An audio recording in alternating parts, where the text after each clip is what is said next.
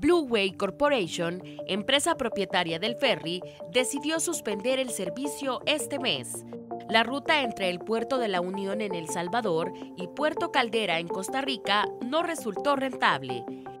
El ferry comenzó a funcionar el 10 de agosto de 2023 tras una espera de casi una década.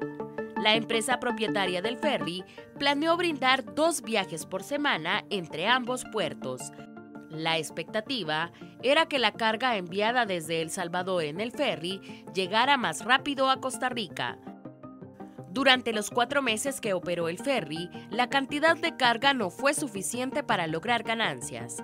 Un obstáculo que enfrentó el servicio fue su costo, por lo que pocas empresas lo utilizaron. Aunque el ferry tenía capacidad para unos 100 camiones, se logró una ocupación del 10%. En una segunda etapa, la empresa tenía planeado transportar a personas.